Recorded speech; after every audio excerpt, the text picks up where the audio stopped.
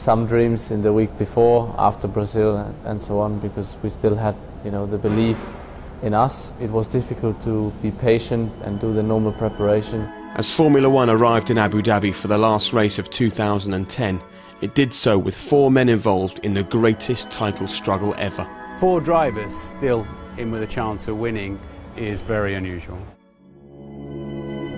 I think all of us had key points where it probably slipped or, you know, the, the tide turned. That was one of his worst qualifying sessions, Mark Webber, when he needed it to be one of his best. We had uh, periods where, you know, we got treated like a hero, and then other times where it was a little bit more rough for us. The atmosphere in the paddock, everyone was extremely pumped and excited, so it was difficult to be patient, wait, and do the normal preparation. I can't recall at any other season having as many contenders for a championship. I feel confident now. This weekend is time to do it. The others are the ones that have to worry. I don't have to be cautious whatsoever. I believe in myself. I think it's time that we have a decider. You are tensed, you're nervous. In the end, I just said to myself, you know, try to win that race and everything that comes on top is a bonus. We've ended up with this incredibly intense series when we went into the race. Obviously, I started from pole. I had the best position to start from. The aim was always to, to become world champion one day. Who will be champion today as we leave the grid at Abu Dhabi? Vettel moves forward. Alonso comes through. Button's got the jump. Alonso down into fourth, and Webber is fifth behind him. I was very proud to be part of the race in, in Abu Dhabi, part of the four guys who can still win the championship. Down into the turn five, and we've got two Mercedes side by side, and they make contact. Michael Schumacher round. Will he? Oh, oh the big smash there. It's Lewis. He's gone straight into him as well. What a dramatic start. It's Webber. Webber. He's coming in early. He tried this early in the season and it worked in Hungary and he's away and that was well done. Seemed to be no major problems there. But the problem he's got is he's way back, isn't he? I didn't know where the others were, so I didn't know whether winning is enough or not. Here comes Alonso. Oh, he's almost got into the wall there. You know, no matter what, Fernando was leading the championship before the race. So we knew that, first of all, we have to finish. And secondly, we get more points than him. And here oh. comes Alonso going through the inside of Petrov, but he's gone off the track. He cannot gain position though. Alonso there, a little mistake. Hamilton. Watching and all the spectators. Surely Red Bull will now respond. They did the right thing, leaving Vettel out. Of course, if you have highlights and you win races, it's nice and you enjoy. So Vettel comes in. But people try to knock you down and uh, you have bad results and you have to stand back up. Vettel retains the lead and critically ahead of that Sauber that they were trying oh, to he monitor. came together there. He's got to watch out though. That could have been a world championship making a pit stop. A round of applause there from Horner. I think, you know, in terms of mindset, we were we had the exact right approach. Come on, Sebastian, give it everything you got. Come on. Of course, you are tensed you're nervous and you have this special nervousness going on. Sebastian Vettel flies down the pit straight and is he heading now towards the World Championship? Mark Webber down in eighth, stuck behind Alonso. He started there and he's going to finish there. And how he'd love to finish where this man is heading now.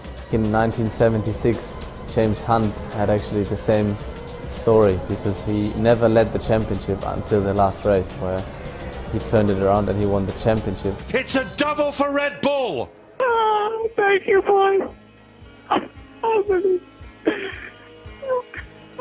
Unbelievable. Thank you. I love you. I need a. Since I crossed the line, it has been, uh, yeah, quite a journey so far. Obviously, it was extremely difficult to realize, and it still is what happened. But uh, I'm very proud of that and proud of what I have achieved, but it's also a little bit weird and strange because you don't know how to handle that. I'm speechless, you know.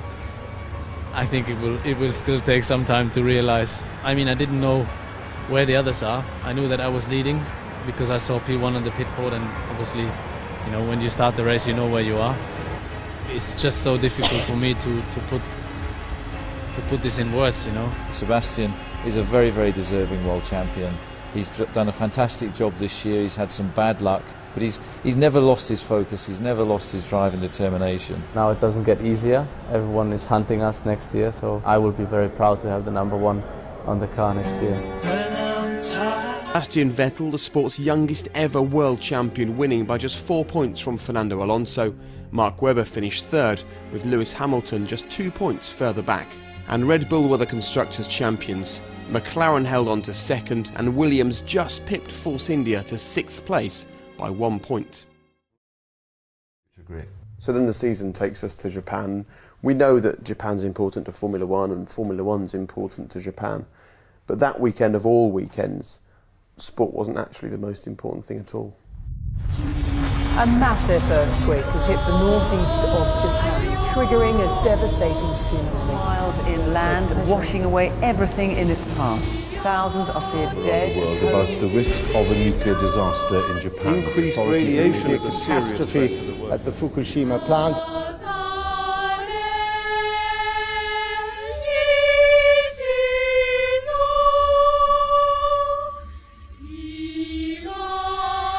I'm really happy that the Japanese Grand Prix is going ahead. Japan has had a, a, difficult time in 2011, so I think it's great that we're here and we can hopefully put on a great show and uh, put a smile on a lot of Japanese people's faces here.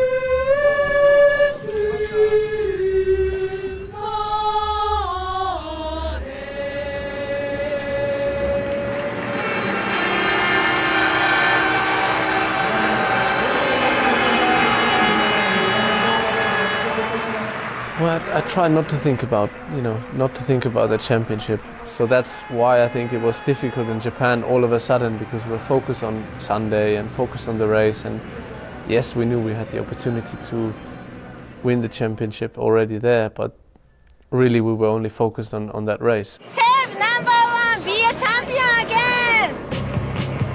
The form book absolutely assures us that in a little over 90 minutes from now, we'll be applauding a new double world Formula One champion. Vettel having to cover very early on against Jenson Button. Button had to lift the throttle as Vettel ruthlessly put him onto the grass. He's got to get a penalty for that, has he? The stewards thought it's not worth a penalty for Vettel. Losing the rear tyres, losing rear tyres. Vettel then pits from the lead. That looked a pretty tardy pit stop to me. McLaren boys are in the pit lane. Button away then.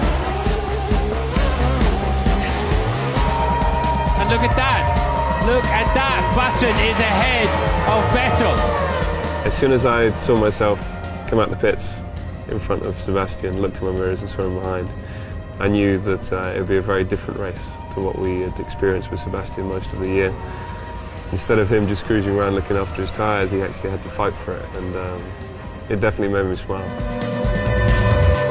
Button under pressure in the closing stages of the Our race. McLaren marginal because of the amount of fuel that they're able to run during this Grand Prix. Trying to conserve fuel while you've got two angry world champions chasing you down, it's pretty tough. And Button does the fastest middle sector of the entire Grand Prix. The dream scenario here in Japan would be a, a Japanese driver to win this race. Dream scenario number two would be Jenson Button, Japanese girlfriend, got the messages on his crash helmet. Save Japan, we pray for Japan. He didn't lose his head when he got shoved onto the grass. His philosophy was don't get angry, get even. And he certainly has done that. Jenson Button brilliantly wins the Japanese Grand Prix. You know, you could say it's slightly overshadowed by Seb winning the championship, The new world champion, Sebastian Vettel. but not for me. It wasn't. You know, winning in front of the, the Japanese fans, and I pulled up just after the finish line and got out and waved to the crowd, and the, the you know the atmosphere was was fantastic. It was just like I'd won the world championship myself, not Sebastian.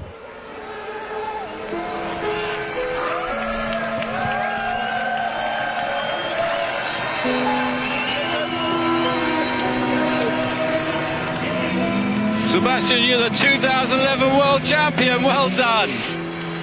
Thank you so much. We took nothing for granted, and we did it.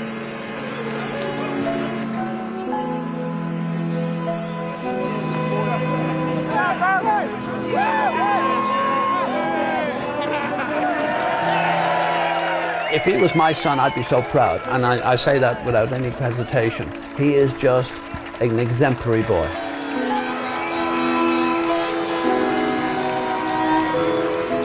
I've never seen my missus cry at Grand Prix before, so um, even when I've won a race, so it means a lot to her. It's her home Grand Prix, and it's uh, yeah. When she cries, it's difficult for me not to. But um, I'm going to try and hold it together right now. Um,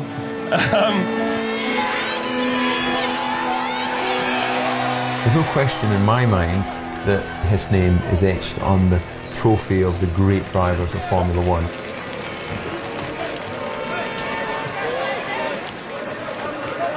Sebastian, come and stand here. If you just take a look up there at that monitor, this is this is the Hall of Fame that you are joining. These are the fellow back-to-back Formula One world champions, and you are now part of them.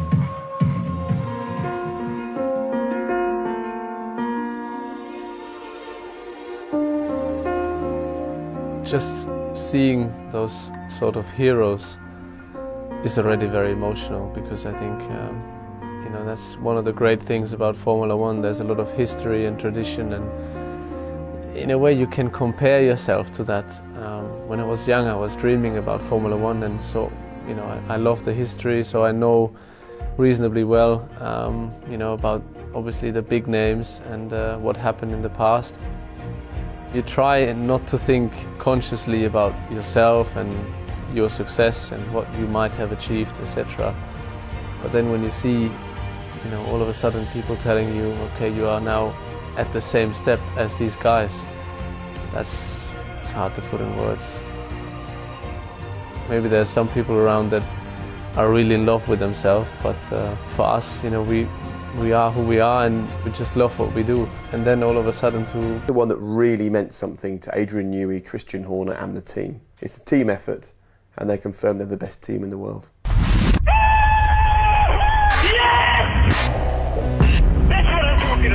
No matter how hard you try, you can't stop us now. Thank you, boys. What a race. No matter how hard you try, you can't stop us now. We keep on working. We do our thing. We are who we are. We're the renegades in this atomic age. This atomic age of renegades. Ring, ding, ding, ding, ding, ding.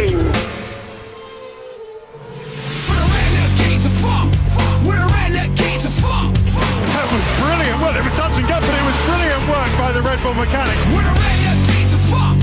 We're the renegades of funk. And Vettel leads the race. Sebastian Vettel will have thoroughly enjoyed that. Great drive, fantastic. We've won the constructors. Thank you. Well done.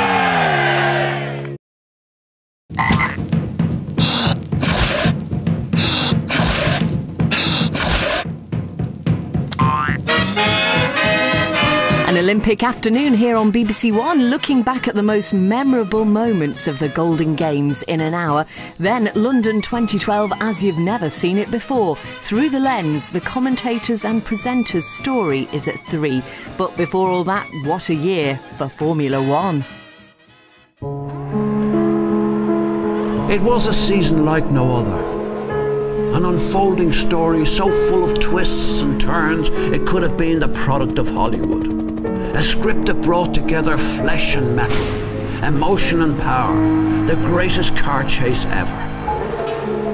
It dealt in fantasy, in impossible happenings, unpredictable at every scene. Old favourites returned to the stage to show they'd lost none of their lustre. Some stars dimmed, reduced to mere extras, as we embraced new heroes with familiar names.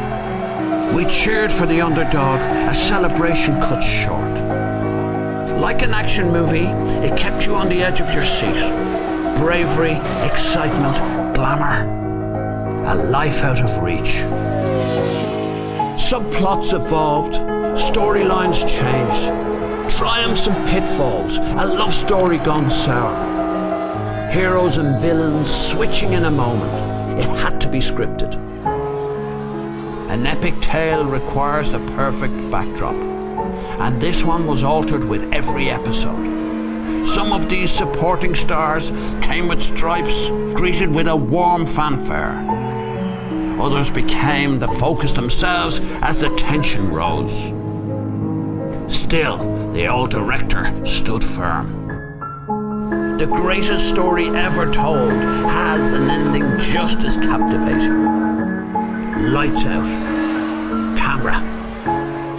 Action.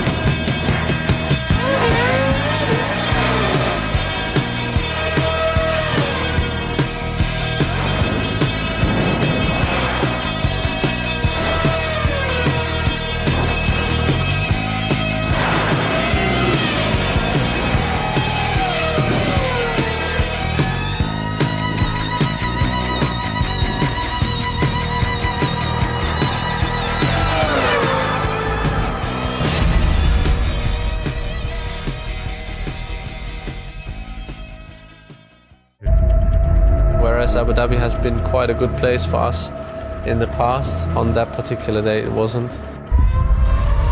Sebastian Vettel comes out of the last corner. He's third. It was obviously a good session for us. Alonso's not going fastest. Unfortunately, it was uh, uh, six cars faster than us today. Stop the car. Stop the car. I mean, that night uh, we we were waiting to see what was going on. I mean, it was very long to understand there was no fuel in the car. but anyway, I don't want to, you know, you understand what I mean. Sebastian Vettel's been demoted to the back of the grid for a fuel irregularity. Sebastian Vettel starting from the pit lane. Yeah, for sure it was a big hit because you know the championship is closing in and there's less and less races to you know may, maybe make up for things like that happening. No, it was tough, but we took a strategic decision to say, okay, we're starting from the back. Let's withdraw the car from the grid and therefore out of parc fermé, make a few little changes because if we're going to overtake, you know, we're going to maybe need to take a bit of wing off the car. In the end of the day, you know, I think it was a strong point for us to see the opportunities we had rather than always thinking what would be if get on with it and focus on, on the race. A track layout which hasn't seen much overtaking. Vettel will hope to change all that. Before the race, he had the confidence. He said, I'll see you on the podium. I thought, that's confident.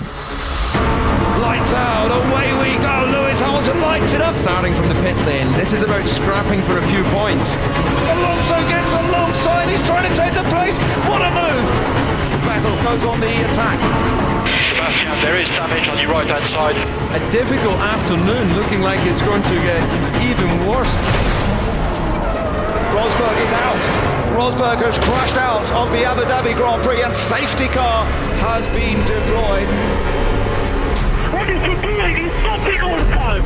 That's definitely damaged his front wing now. It looks like he will need to come for that nose change. So then he's had a wing change. He's at the back of the grid again for the restart and then started to come through the field. Now, can he challenge on the restart? Vettel eventually gets it. Hamilton's in trouble. What is going on? Kimi Raikkonen leads the Abu Dhabi Grand Prix. Alonso goes up into second place. He's got past Maldonado. What a break. Oh, let's get it Touch Webber as well. It's all gone horribly wrong Will there the be back. another safety car, Ben? This closes it all up together, and suddenly Sebastian Vettel will be with the race leaders in a fast Red Bull. Sebastian Vettel as he tries to find a way past Jenson Button. This is for a podium position, remember. Oh, and there's Vettel trying to get past Button. He might have done it this time. Oh, beautifully done. Alonso is charging here. He's looking for victory. Can you tell me when it gets to the end, Ben? I'm covering my eyes. The excitement here. Alonso running out of time. Kimi Raikkonen wins! Alonso finishes in second. Sebastian Vettel, a brilliant third place to retain the championship lead. That was just such a tenacious drive. We limited the damage. Fernando only scored three more points than us. And that was a crucial, crucial moment because, you know, we could have quite easily left Abu Dhabi, you know, with having lost the lead in the, in the championship. Thank you, boys. I told you, never lift, never stop believing. Fernando Alonso was delighted to be on the podium yet again, but seeing his main championship rival there as well, I think really took the wind out of his sails. Well, it was not easy from the emotional point of view to handle because um, you felt that uh, we didn't take the uh, opportunity that uh, he was given uh, because of external things that we were not able to control. Vettel was very lucky. He had a lot of luck with the safety car. He had a lot of positions that he was able to make up, pit stops, the whole lot, and it resulted in him being on the. Ferrari would have been distraught. That was for me the pure sign, if they first signs for them, that hey, this championship could be going away from us.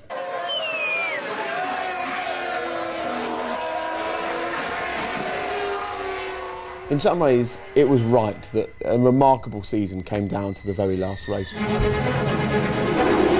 One of these greats, and there's no question, Sebastian Vettel and Fernando Alonso are great, great drivers. One of them is going to walk away with this title today. Which one? In normal condition, Sebastian would have easily taken the place because uh, he is very good, the car is very, very strong. But we also know that when you are under pressure, you, you start to tremble. 13 points the gap in the championship. Even if Vettel falls off the road, Alonso has to finish top three to win this championship. None of us could have predicted what was about to unfold. Everything that could happen happened, and uh, everything that could go wrong in a way went wrong. Lights out, away we go, and Hamilton versus Button off the front row. Vettel away slowly. Wow, we have a race on our hands. Vettel did not get away at all well there. It seems that he had the worst start of the season. For Sebastian, because of the tension, that is natural. I mean, n- nothing strange. Eh? They are very young guys, eh? don't forget that. As a It's Red Vettel! Bull, it's Vettel. It's He's Vettel been hit. down at turn four. How much damage is on the Red Bull? What drama here on the first lap in Brazil? At that point, you think that's it, it's over. It was uh, obvious that Fernando, because he always is on the podium, was going to finish on the podium, which is what he needed to achieve uh, to win the championship. Usually, in that moment, you think it's over, you're out of the race. In that particular moment, probably it's over, I'm out of the championship. But in that case, I was just, I just wanted to get going again, going again. Okay, Matt, someone hit. I'm coming back. I think I have done it. Our priority was to be in the podium because uh, whatever's happened to Sebastian, if we are not in the podium, we had no chance. Alonso moves up into third place, which is where he needs to be if Vettel gets no points here today. I didn't know how much damage there was, um, so I drove past the main straight, close to the pit wall, to give Adrian and give people a chance to have a look. Sebastian, there's visible damage, but stay out to see how the car behaves. We cannot fix it. It's not front wing. We cannot fix the damage. There was a lot of damage to the exhaust system and the aerodynamics in that part of the car. But then he started coming back. Vettel's just done a quick lap faster than anybody else. This isn't over yet. Alonso's gone Alonso- wide. Alonso's gone wide. Hulkenberg's gone past. Vettel's just trying to pick them off one by one. Fantastic by the Red Bull. He was determined that he wasn't going to let the championship slip away.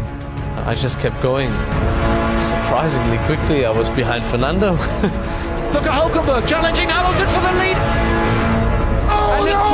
Oh, they've made contact. Hamilton and Hulkenberg, and now that's going to be Button leading and Alonso in second place.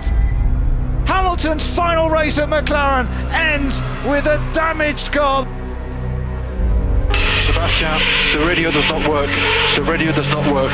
It was too dry for inters at that point, so we had to stick to our basic rule of we've got to fit the right tyres for that moment. This is a crucial call for Red Bull to keep him on slick tyres. That's a brave decision from Red Bull. And within 30 seconds, it started to rain. His radio had stopped working. He could hear us, but we couldn't hear him. They didn't have the tyres ready. Look, it just took so long to get them on. Vettel's obviously made the call. The team haven't heard him. And he Wow. arrived in the pit lane, and then it was like, well, what does he want? It must be intermediates. If they finish where they are now, Alonso would be world champion. Again, at that stage, you think, that's it, it's gone. You think it's all over. But then again, Sebastian started coming through. Brave cut back into the inside. And he got himself back into that vital seventh position that became sixth when, surprisingly to all of us, you know, Michael Schumacher waved him through. Michael Schumacher. His gift in his last race is he doesn't put up any resistance at all to his young German friend. We were uh, really hoping that it would have been a, a better fight, but uh, I think that Michael finishes his career there. He didn't want to be seen the one that was keeping the world champion behind. Sebastian, this position is good enough. Your current position is good enough. 10 laps to go, I, I had the call that where we currently are is enough. But still, I tried to push because maybe, you know, there is some odd situation, someone spins. Andres had a oh. crash. They are behind safety car. There will be no further changes. Jenson Button takes victory. Second place goes to Alonso, but with sixth place, Sebastian Vettel is the 2012 Formula One World Champion. You're the world champion. You're the triple world champion, Sebastian Vettel. You are the man. You're a triple world champion. Having succeeded and everything just falls off, you know, and it just, Straightforward, mate, wouldn't it? Straightforward. in a way, you don't even have the power to maybe realize what happened or the power to celebrate the way you probably thought or dreamt of, you know, celebrating.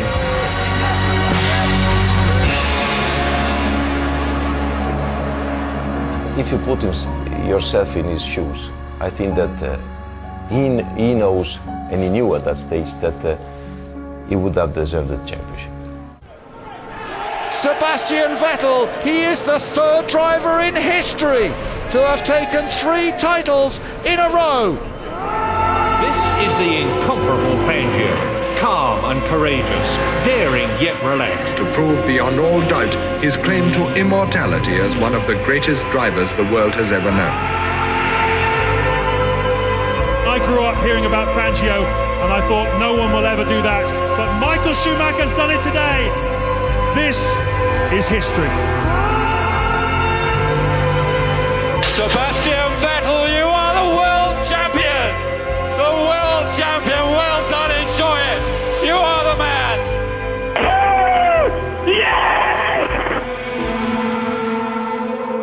You know, rather than to look up in a certain book, check the number, ah, look, I have done this, we have done this. That's not what it really is about. You know, it's looking back, thinking of the race in Brazil, looking back, standing on the wall in Japan, looking back, you know, crying and feeling completely empty in Abu Dhabi. This is what you, you know, was, what no one can take away from you. And uh, I think this will last probably until the last day I'm on this planet and we'll say goodbye at, at some stage. It's only a great driver in a great moment is able to deliver that package. For me, he will in time become one of the real greats of our sport.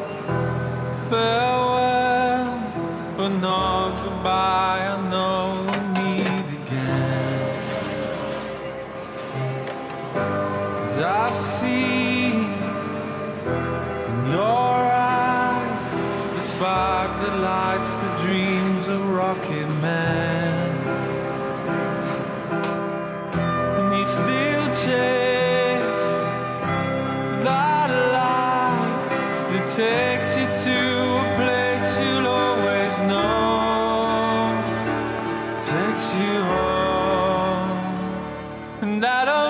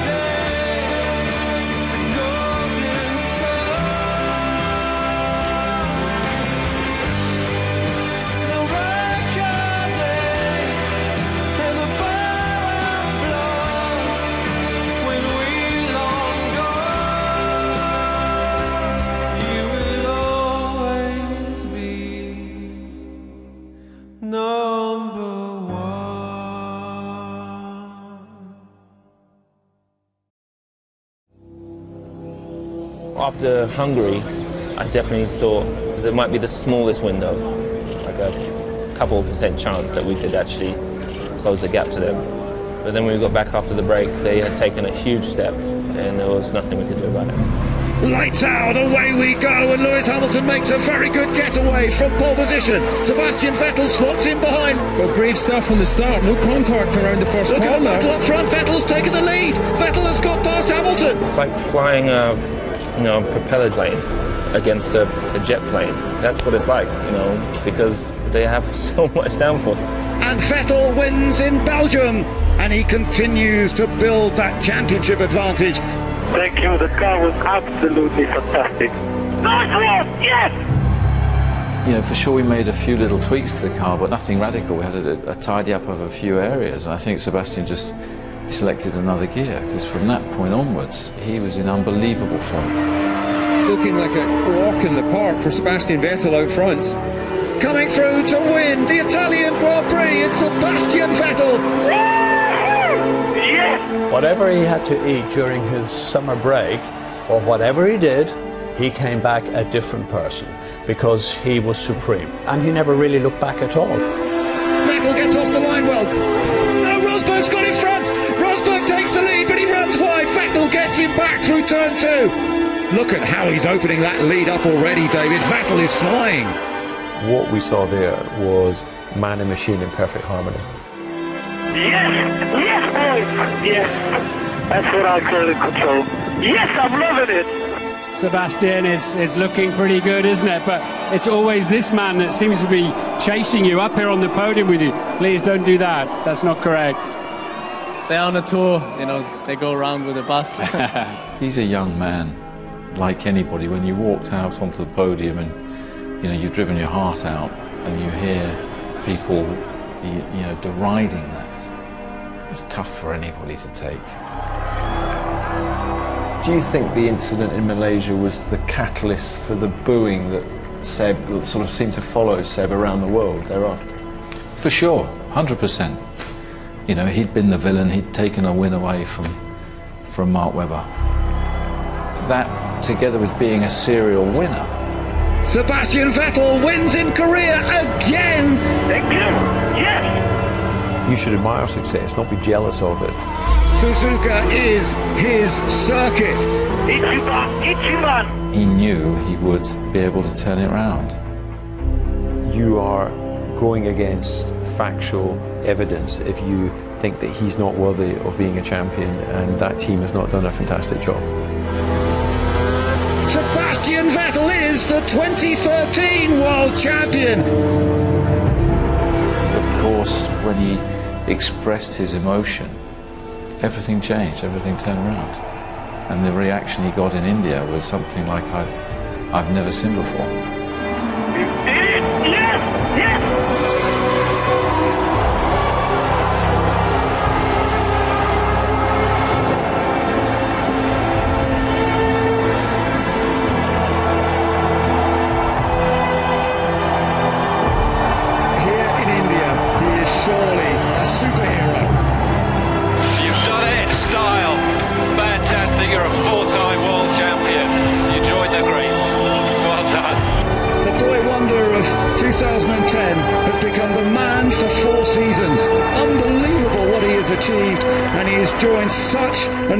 Incredibly select group. This is the incomparable Fangio. One of the greatest drivers the world has ever known. Alain Prost, a fourth brilliant championship for the Frenchman. I grew up hearing about Fangio, and I thought no one will ever do that. But Michael Schumacher's done it today. This is history. You know, for all the kids, for all of us, um, we looked up to him. He was he was our hero. Now you're in a position where kids will be looking up to you. Yeah, that's weird. That's weird because you know um, I'm still a kid somehow, and uh, at least I feel like it. I believe that he is in the realm of greatness. Uh, he's right up there with all of the great greats of this world of Formula One.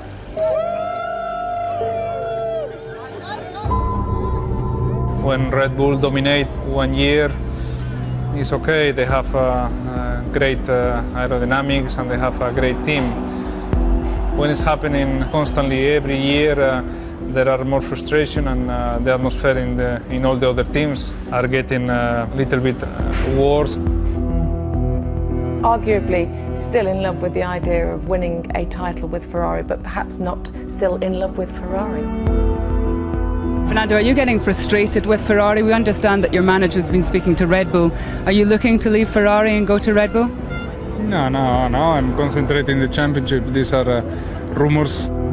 It's been very clear he's disenchanted. Has your manager been to speak to Red Bull? I don't think so. Not that you know of. No, not that I know.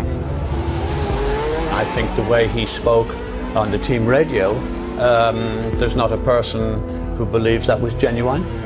Quindi c'è da lasciarlo passare, veramente siete dei geni, eh?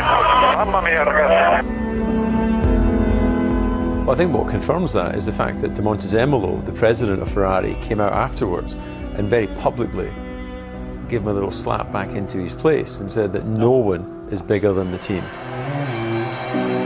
I believe he'll win a title with Ferrari. Um, whether he'll end up winning as many titles as Sebastian Vettel, well, you know, who knows. And of course, Massa will no longer be with Ferrari at the end of the season. Kimi has signed for Ferrari. Oh, they almost touch, just manages to find some space. Fabulous move from Kimi Raikkonen. He's lining up Fernando Alonso for the pass, and he's going to go past his future teammate. Raikkonen down the inside. Abu Dhabi, and the last time we saw Kimi. It's like as if he didn't want to be there. Raikkonen's out. Raikkonen's out. We were not privy to the financial situation at that moment, and we were saying, why is this happening? Why would he leave Lotus? Why would he go there? But the reality was, as it's now been played out, he, he wasn't paid. He dealt as uh, nicely as uh, I could have dreamed, to be honest. He also did his job until very late in the season. It's just bad business. You cannot not pay your staff. Of course, it has an effect on your mind. That had a huge effect on Kimi's performance. And Sebastian Vettel takes his 11th win of the season. Brilliant, brilliant job. Well done.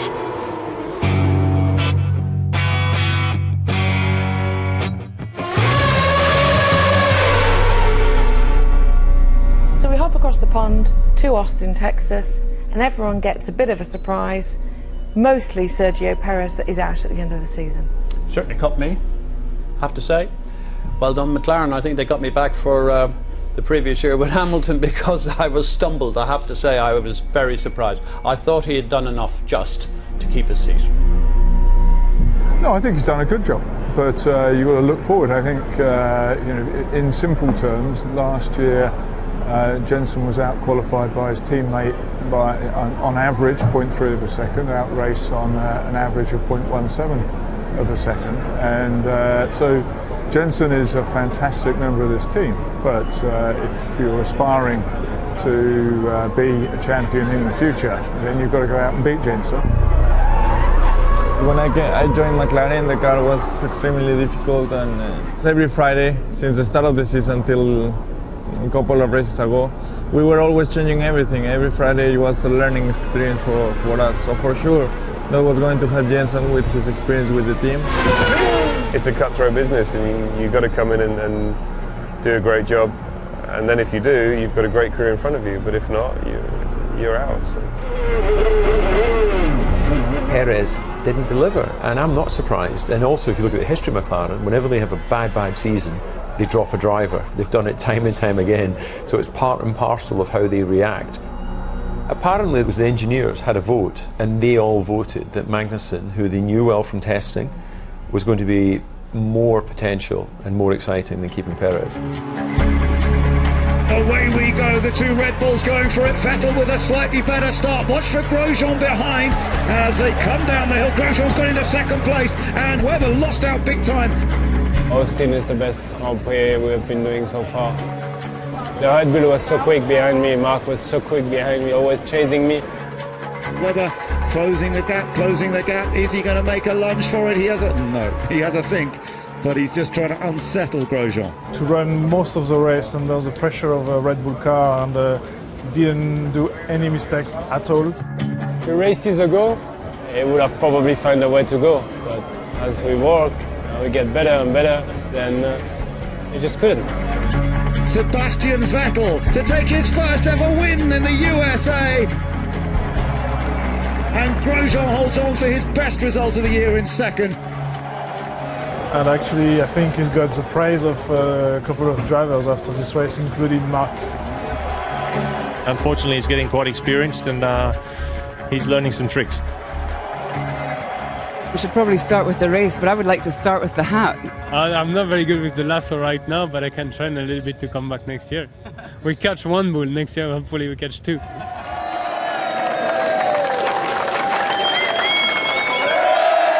It's been a whole 180 because if you go back to Monaco, he crashed that car four times over the weekend, and I think it's fair to say you both thought he was out. I think I was dancing quicker than the music.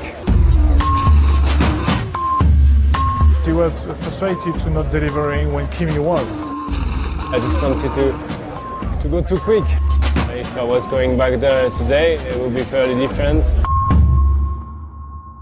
No one has ever doubted he's got outright speed. He's won pretty much every championship he's raced in apart from Formula One. But what he didn't have previously, and I think it's absolutely fair criticism, is consistency. But as he's matured, he's starting to deliver that. The second half of the season for Paul di Resta wasn't good, was it? I mean, he got most of his points up until Silverstone, and in Korea was the fifth time in a row that he hadn't finished the race. Oh, and off has gone Paul di Resta. Oh no! And this is another retirement for Paul di Resta. It was a difficult period to go through. You know, we had one race, we had an incident with Maldonado. I made a mistake at the Monza Grand Prix. Singapore was going to be one of the, I think, the best drives of my career and took six laps to go. And we experienced something we've never experienced before in terms of the wake of a car in front. And uh, unfortunately, I went off in which was going to be a sixth position, which, if you look at my points tally, would be crucial. A driver wants to have a strong end to his season because when people are signing drivers and looking at what the options are, you want to be there saying, look, here I am outperforming the car. I think he suffered badly because the tyre change. That car, the Force India, was not anywhere close to how good it was at the beginning of the season.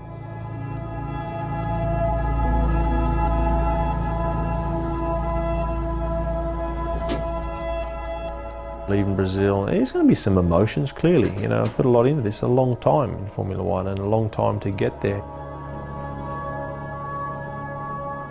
Last day at the office in Formula One. Uh, got to try and treat it like another race. I think uh, definitely different emotions uh, this morning. I think it starts to hit a little bit that, uh, yeah, it's the last time you'll be doing this as an F1 driver, but that's that's fine. That's good. And uh, what what I want, oh, it's basically a, it's not a sad moment. It's a it's a proud moment. It's just emotions that you, you have to accept that uh, you've got to be able to let go. Mark, good luck. Thank you go. You know it's the right time to stop, but you still can't accept that it is. You still want to do it, but you're still on that slippery slope then. So what's the point of continuing at that level? You can't do that. Thank, you. Mark, welcome to Interlagos final day in school. How do you feel? Yeah, good. Very good. Yeah, no, ready to go and uh, see how we go. Is it possible to win? Of course. For sure, we're going to miss him. He's been a massive part of this team for seven years.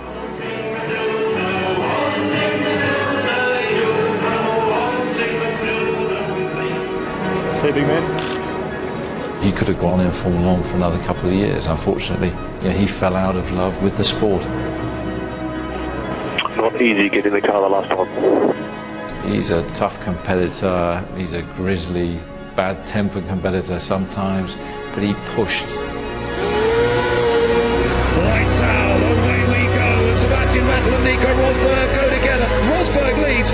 Into second. Then it's Hamilton. Alonso's in fourth place. Massa making up some ground as well, but he just drops in behind Mark Webber. Here comes Vettel, no doubt about it. He's on the charge. No DRS on the opening lap, but Vettel doesn't care. He blasts past Nico Rosberg. Webber's got a bit of a chance here. Hamilton runs wide.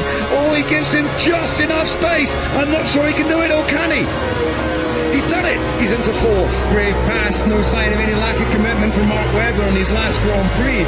Mark Webber now attacking Nico Rosberg. Round the outside he goes, and Webber trying to take the third place. I think he's done it, yes.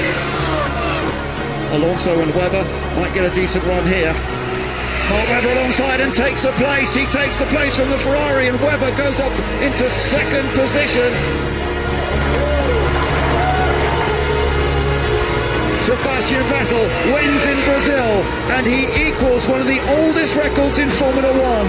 Nine consecutive Grand Prix wins and he's the only driver to have done that in one season. Mark Webber finishes in second place in his final Grand Prix. What a way to bow out of Formula One. Fantastic career. It's been brilliant working with you. You can be proud of everything you've done, because we certainly are. Well done.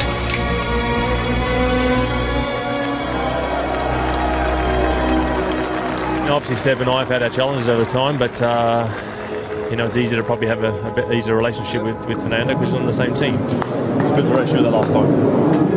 But um, to finish on the podium with those two guys, they have been the best of this generation. It still meant a lot to me, showing that I could still drive well at the end of my career, and uh, got the timing right. We didn't have the best best relationship, but I can certainly say that I learned a lot from him. I learned to become a better driver due to to his skills, which he has, and uh, that's why I consider him as one of the the drivers with the most talent we have on the grid. They're both the same. They're both cut from the same cloth. They're both aggressive, competitive, fast, hungry drivers. That's why they've had the success that they have. And it's been uncomfortable and lumpy at times, but it's worked. And we've had, you know, almost 20 1-2 finishes between the two of them. We've won four constructors world championships between the two of them. We've won nearly lucky to come up against a phenomenon. You know, the guy that might rewrite the history books. Best driver raced against in F1, oh, it's probably between Seb and Fernando. Fernando over two hours is, is a handful. You know, he is a handful. There's no question about that. Over one lap, I think that um, he's not with, with Seb. But on Sundays, you know, between those two, I think it's it's very very tight. I don't know, time will tell us, I think. When uh, he will have a car like the others, if he wins, uh, he will have a, a great recognition and uh, he will be one of the legends in Formula One. When one day he has a car like the others and he's uh, fourth, fifth, seventh, these four titles will be bad news for him because people will will take these four titles even in a worse manner than what they are doing now. So there are uh, interesting times for Sebastian coming. For sure, there will be always some people thinking that you have to do this and you have to do that. Um, I don't know. I think you can think about this a lot. Uh, in the end of the day, I think we don't have to to prove anything. Uh, I think we've proven enough. Is Seb now one of the all-time greats? He has to be. He has to be. At 26 years of age, he's won four world championships. There's only, what is there, three other drivers in the history of the sport in over 60 years that have achieved that. He's gone up against some fantastic drivers in Fernando, in Lewis, in Kimi, and Mark Webber, and Jenson Button. You know, it's a quality grid that he's up against. And he's delivered. And he delivers time and time again. And it's easy to say, yeah, he's got the best car. But we run two cars. You know, and one car won 13 races. And the other driver's no idiot. You know, he's a very, very fast racing driver, Mark Webber. And it'd be easy to underestimate how good Mark actually is. And I think Sebastian this year has just, again, come of age. And um, I think what we've witnessed this year is actually something very, very special. I think it was incredible. And um, you know how hard it is to win a Grand Prix, to win nine consecutively is just phenomenal and uh, it defies logic in many respects. So yes, it was hu- superhuman effort from Sebastian. I think he would see that that was his best season ever. And he gets very emotional. We're hearing him have a love affair with his team, seemingly over team radio. We have to remember these days. We have to remember these days. We can't, there's no guarantee that they will last forever. I love you guys. I'm so proud of you. I love you. The, doubters will just see that as annoying. But actually, if you just step back for a moment and try and imagine yourself in that position, you find yourself in a great car, you find yourself with heaps of talent, and you find yourself breaking records that the, the sport in all its history has never seen the likes before. Why would you not have those outcries of emotion? Why would you not want to say to people, this is incredible, enjoy this moment? Nobody has ever done what you've just done in the history of the sport. Man, I'm proud.